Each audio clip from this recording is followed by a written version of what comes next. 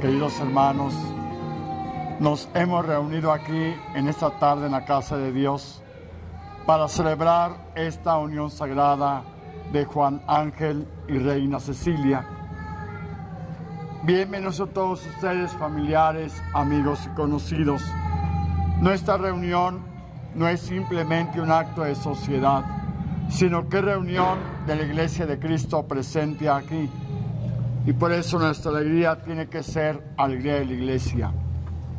Vamos a escuchar la palabra de Dios que de un modo eficaz y misterioso nos dirá lo que es el sacramento del matrimonio y de la Eucaristía. Participemos pues en esa celebración unidos en la plegaria por estos nuevos esposos. Yo, qué, chiquito es el mundo al que va a ser tu esposo. Yo que sea su hermano, pero lo que hacen en San José del Tanque. Alegría, Señor, cantando vienen con alegría, Señor. Los que caminan por la vida, Señor, sembrando su paz y amor.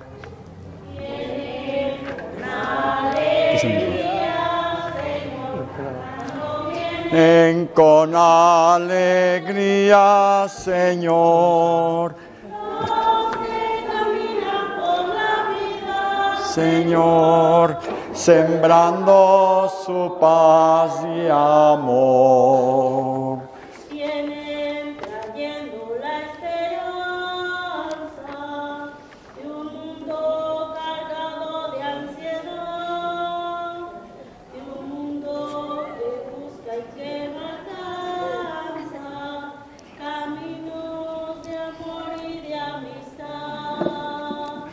Vienen con alegría, Señor, cantando vienen con alegría, Señor. Los que caminan por la vida, Señor, sembrando su paz y amor.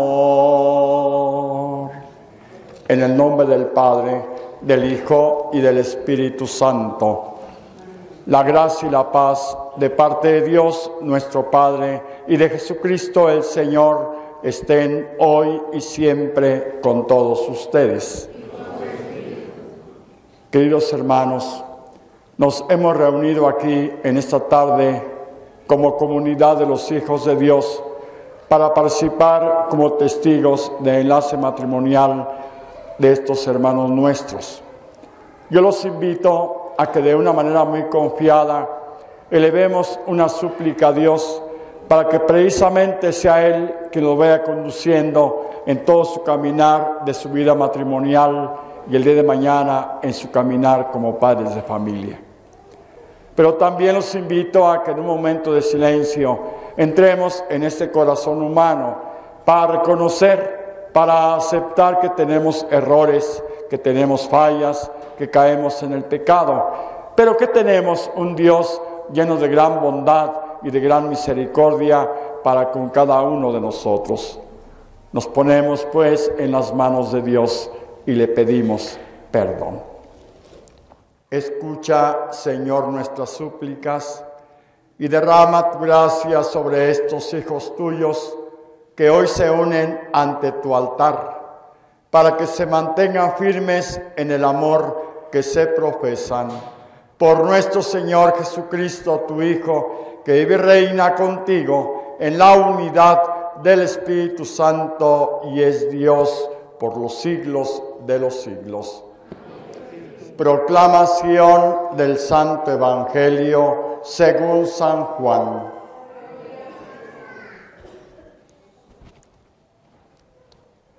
En aquel tiempo hubo una boda en Caná de Galilea a la cual asistió la madre de Jesús. Este y sus discípulos también fueron invitados. Como llegara a faltar el vino, María le dijo a Jesús, ya no tienen vino. Jesús le contestó, mujer, ¿qué podemos hacer tú y yo? Todavía no llega mi hora.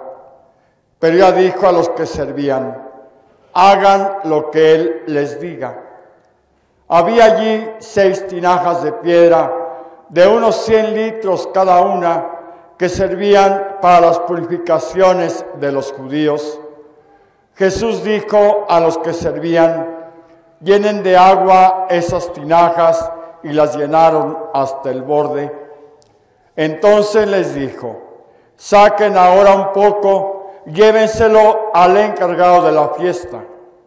Así lo hicieron, y en cuanto el encargado de la fiesta probó el agua convertida en vino, sin saber su procedencia, porque solo los sirvientes la sabían, llamó al novio y le dijo, todo el mundo sirve primero el vino mejor, y cuando los invitados ya han bebido bastante, se sirve el corriente. Tú en cambio has guardado el vino mejor hasta ahora. Esto que hizo Jesús en Caná de Galilea fue el primero de sus signos, así manifestó su gloria y sus discípulos creyeron en él.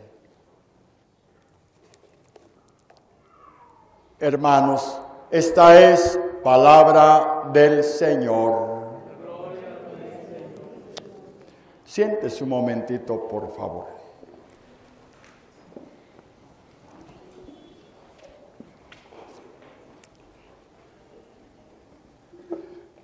Cuando salía a recibir a la entrada del templo a esta pareja, les manifestaba o les expresaba las siguientes palabras. Estamos reunidos para celebrar una unión sagrada. Y creo, sin temor a equivocarme, que quizá ustedes dos y también quienes estamos acompañándolos hoy en esta tarde por vínculos de sangre, por vínculos de amistad, por vínculos de estima, se imaginarán que cuando decimos esas palabras, unión sagrada, es pensar en que es una unión muy grande, en que es una unión muy importante, en que es una unión muy fuerte, en que es una unión en la cual el Señor Dios dentro de unos momentos los va a unir por medio del sacramento del matrimonio. Pero ciertamente, para entender esto, y más que todo para aceptar esto, necesitamos recurrir a una virtud importante que llamamos la virtud de la fe. O sería imposible que yo aceptara que realmente Dios va a unir a esta pareja. Si no recurro a la fe y recurro a un mero razonamiento humano, será muy complicado. Yo necesito ir un poquito más allá y decir, creo, estoy seguro y estoy cierto de que el Señor Dios dentro de unos momentos va a poner en los labios de, de este hijo tuyo, de esta hija tuya, va a poner en sus labios las palabras que se van a pronunciar el uno al otro y que van a hacer el intento, van a hacer el esfuerzo para poder vivir esas palabras del mejor modo y de la mejor manera posible. Se fijaron que las últimas palabras que dice el libro de Tobías que los dos juntos vivamos felices hasta la vejez. Hasta la vejez. No dice ni mucho menos hasta un año o hasta dos años o hasta tres años o hasta cuatro años. Dice felices hasta la vejez.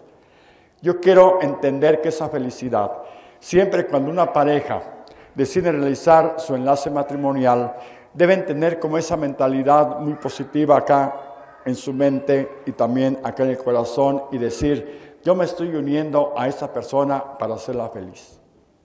O sea, eso tiene que ser esa mentalidad muy positiva.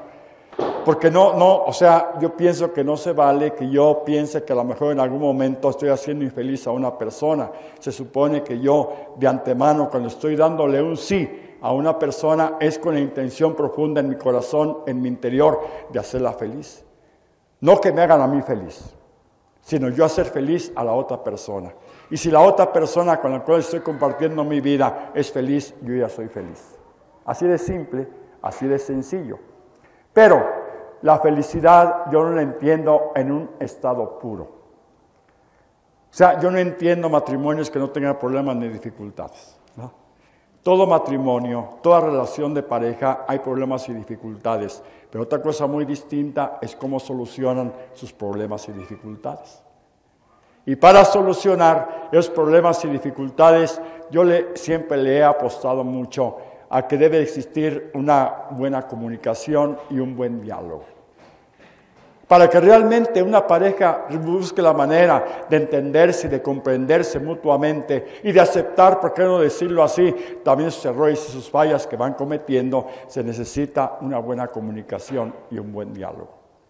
Por eso allí dice aquella canción, ustedes son de, de, antier, yo soy de ayer, ustedes son de antier, de ayer, yo soy de antier. Y había una canción que decía, vamos a platicar las cosas de los dos.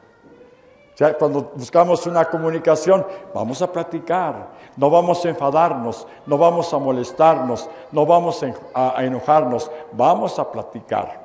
Y precisamente en esa práctica que tengamos, vamos a encontrar la solución al problema que vamos enfrentando. Pero para eso hay que hablar.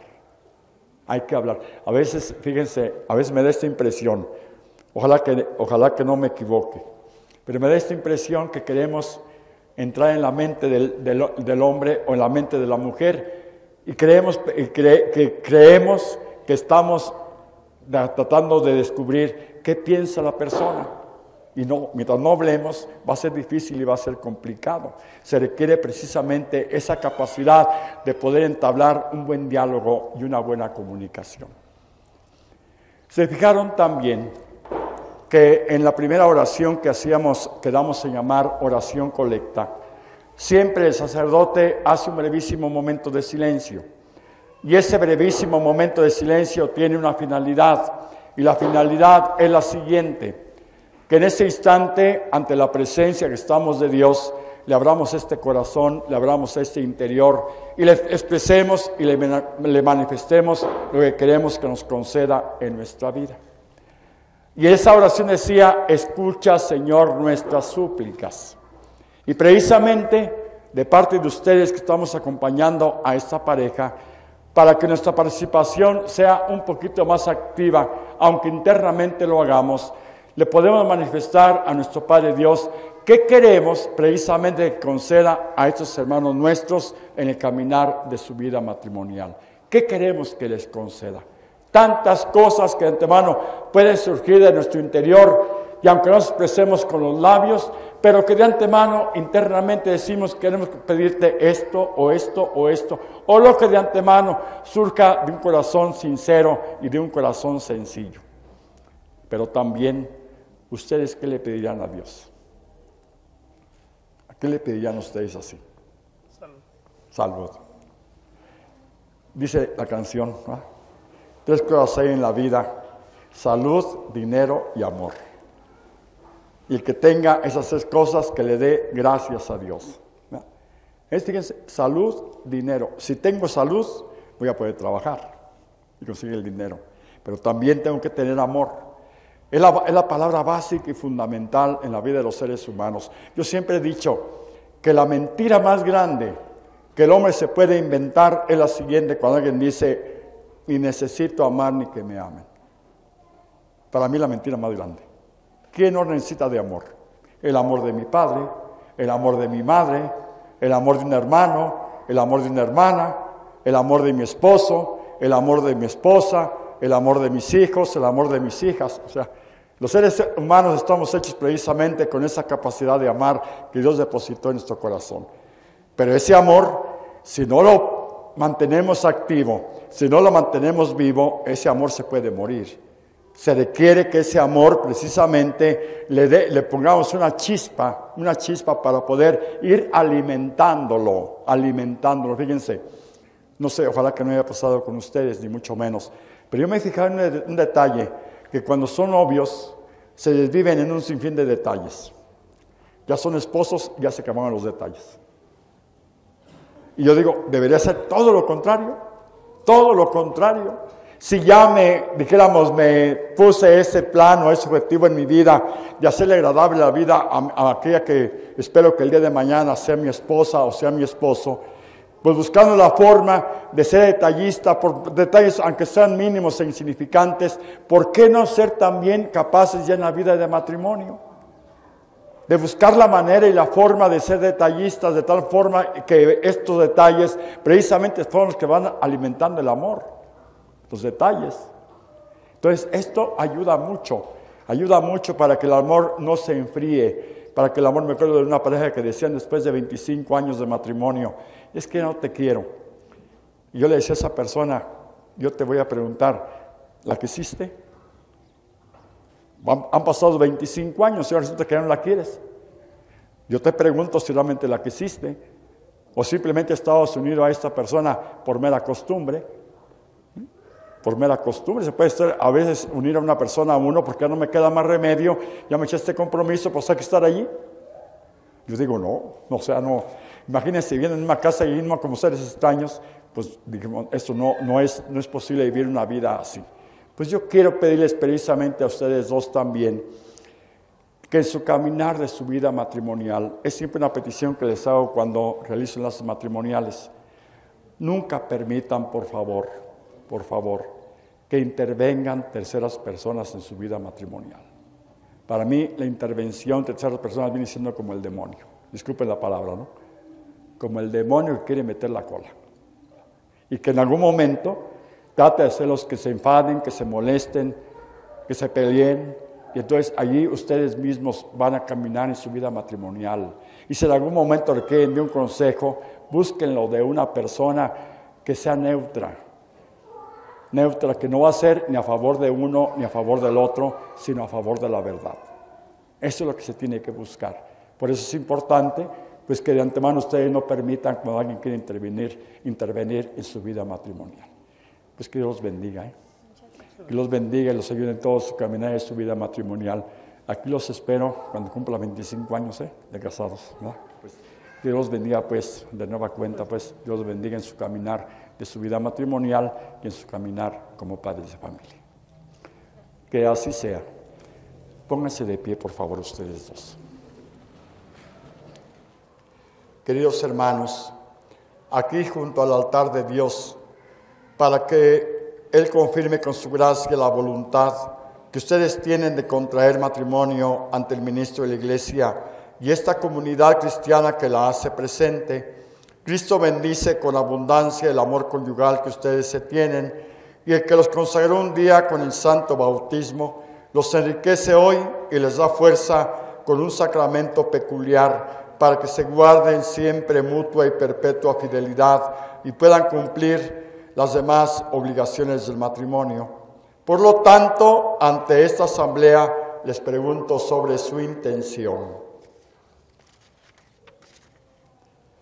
Juan Ángel y Reina Cecilia han venido aquí a contraer matrimonio por su libre y plena voluntad y sin que nada ni nadie los presione. Sí. ¿Están dispuestos a ser fieles el uno al otro en el matrimonio durante toda la vida? Sí. sí. ¿Están dispuestos a recibir de Dios responsable y amorosamente los hijos y educarlos según la ley de Cristo y de su iglesia? Sí. Sí. Así pues, ya que establecer entre ustedes la alianza santa del matrimonio, una sus manos y esperen su consentimiento delante de Dios y de su iglesia. Toma esas dos manos, ¿eh? por favor. Así. Véanse a los ojos, ¿eh? Yo siempre he dicho que los ojos son las ventanas del alma y, siendo las, las, ventanas del alma lo que se refleja en la mirada, que surja de un corazón sincero ante las palabras que se van a decir el uno al otro.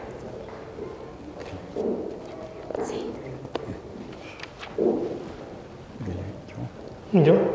Juan Ángel. Juan Ángel. Te acepto a ti. Te acepto a ti.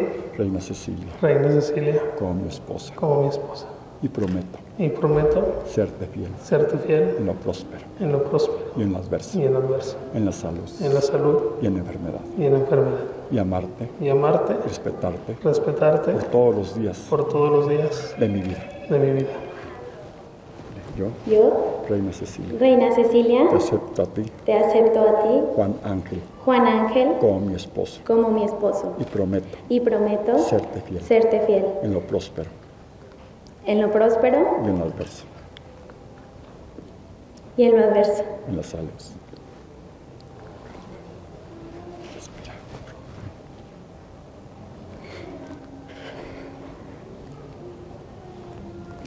En la salud y en la enfermedad, y en la enfermedad. y amarte, Y amarte respetarte y respetarte todos los días todos los días de mi vida. de mi vida.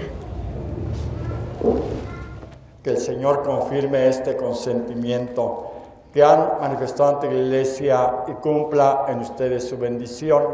Que lo que Dios acaba de unir, que nunca logre separar el hombre. Dicen por allí unas palabras muy feas, ni el suegro, ni la suegra, ni cosa que se le parezca. ¿no?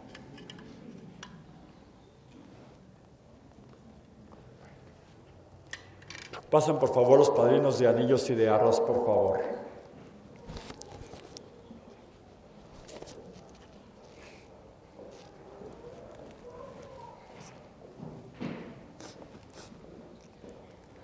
Pasen. Tú aquí. Ustedes acá, mira. Ven así. Así. Está para, está para allá. Bendice, Señor, los hijos tuyos, santifícalos en tu amor y que los anillos y estas arras, símbolo de fidelidad y de ayuda mutua, le recuerden siempre cariño que se tienen. Te lo pedimos por Cristo nuestro Señor. Amén.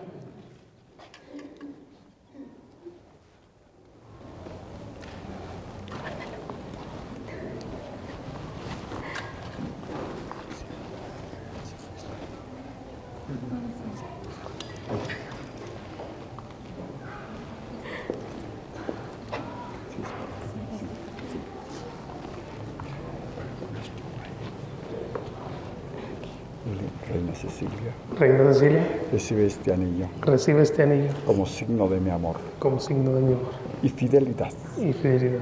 En nombre del Padre, En nombre del Padre, del Hijo del Hijo, y del Espíritu y del Santo. Espíritu Santo. Amén.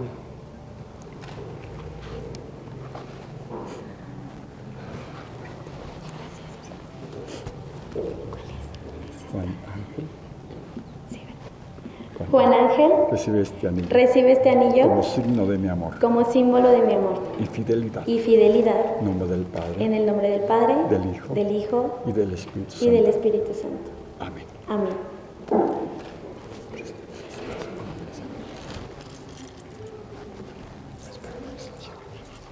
Tú las dos manos, tú las dos manos aquí, tú abajo de las de él. Así. Reina Cecilia, Reina Cecilia, recibe también recibe también estas arras. estas arras, Son prenda son prenda del cuidado del cuidado que tendré que tendré de que no falte de que no falte lo lo necesario necesario en nuestro hogar. en nuestro hogar. Yo la recibo Yo la recibo en señal en señal del cuidado del que cuidado tendré que tendré de que todo de que todo se aproveche se aproveche en nuestro hogar. en nuestro hogar.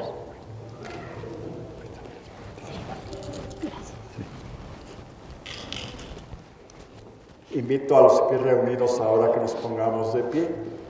Quisiera pedirles como expresión externa, como signo externo en este día importante para estos hermanos nuestros, que les brindemos por favor un aplauso. Un aplauso por favor.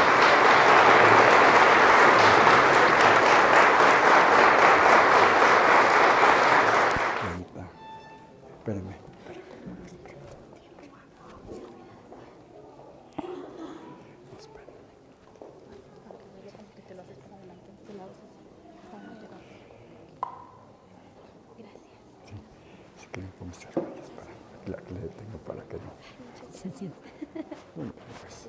sí. Pasen ustedes, los padrinos de lazo, por favor.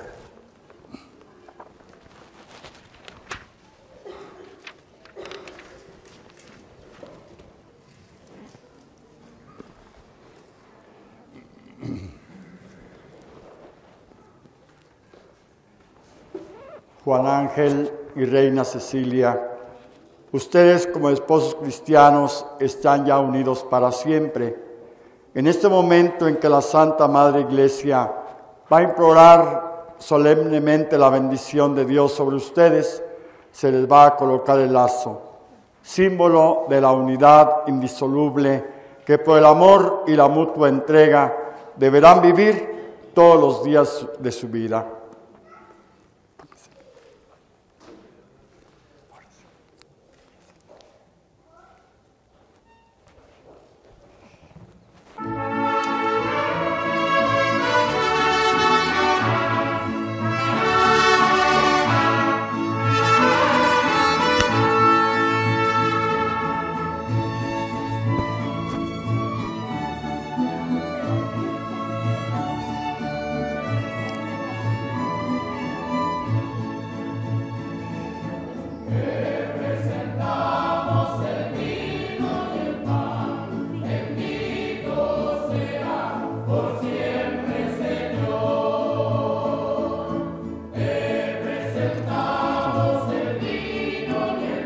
Seas, Señor, eso por este pan, fruto a ti del trabajo del hombre, que siempre que te presentamos, para que nos comes en el cuerpo de tu Hijo, pan de vida. Bendito seas por siempre, Señor.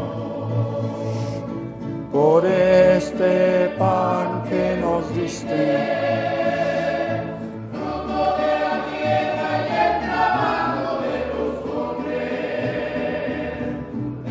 Bendito seas, Señor, por este vino tú todavía el trabajo del hombre creciente que nosotros presentamos para que nuestra sangre de tu vida de salvación. Bendito seas por siempre, Señor. Acuérdate de tus hijos, Juan Ángel y Reina Cecilia, que en Cristo hoy han fundado una nueva familia, iglesia doméstica y sacramento de tu amor. Y concédeles que la gracia de este día se prolongue a lo largo de toda su vida. Por Cristo, con Él y en Él, a ti, Dios Padre Omnipotente, en la unidad del Espíritu Santo, todo honor y toda gloria por los siglos de los siglos. Señor Jesucristo, que dijiste a tus amigos, los apóstoles, la paz les dejo, mi paz les doy. No tomes en cuenta nuestros pecados que son muchos, sino a la grande fe de tu iglesia y conforme a tu palabra, concédele siempre la paz y la unidad, tú que vives y reinas por los siglos de los siglos. Y que la paz del Señor esté siempre con todos ustedes. Démonos fraternalmente un saludo de paz.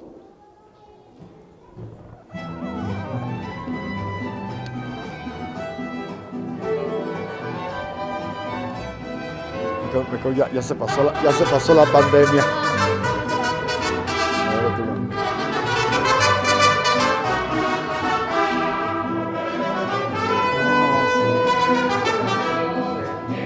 El pecado del mundo, piedad de nosotros, ten piedad de nosotros. Señor Jesucristo, Hijo de Dios vivo, que por voluntad del Padre y cooperación del Espíritu Santo, diste con tu muerte vida al mundo. Líbranos por este tu cuerpo y esta tu sangre de todas nuestras culpas y de todo mal. Concédenos vivir siempre apegados a tus mandamientos y jamás permitas que nos separemos de ti. Hermanos, este es Jesucristo, el Cordero de Dios, el que quita todos los pecados del mundo. Dichosos todos aquellos invitados a la cena del Señor. Señor, yo no soy digno de que entres en mi casa, pero una palabra tuya bastará para sanarme. Que el cuerpo y la sangre de Cristo nos guarden para la vida eterna.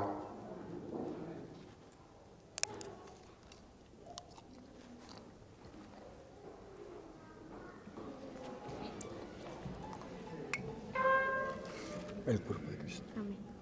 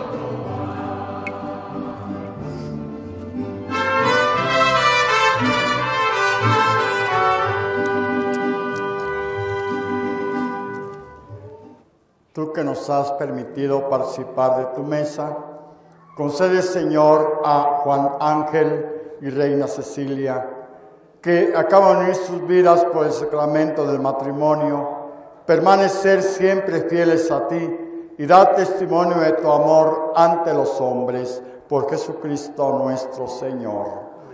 Que el Señor esté siempre con todos ustedes y que la bendición de Dios Todopoderoso, Padre, Hijo y Espíritu Santo, descienda sobre ustedes y permanezca para siempre.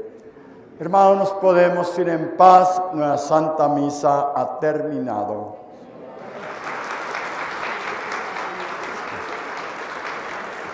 Les entrego, les entrego la, su boleta. Muchas gracias.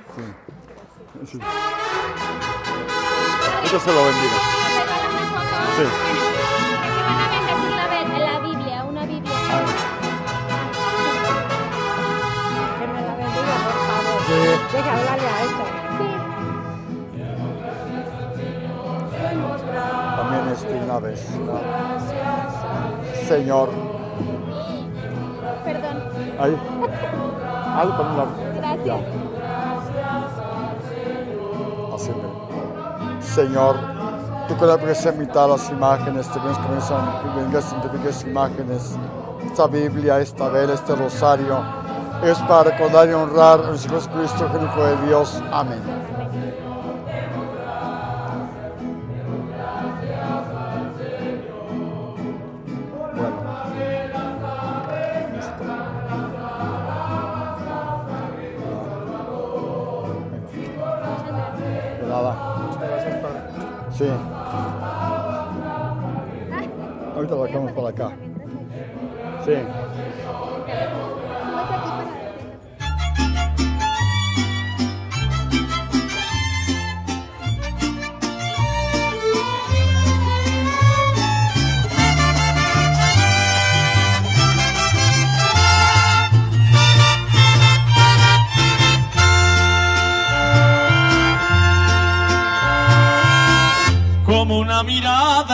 Sonora, vestida con el mar de Cozumel, con el color del sol por todo el cuerpo, así se lleva México en la piel, como el buen tequila de esta tierra, o como un amigo en Yucatán en aguas calientes deshilados, o lana tejida en Teotitlán. Así se siente México, así se siente México. Así como los labios por la piel, Así te envuelve México, así te sabe México. así se lleva México en la piel.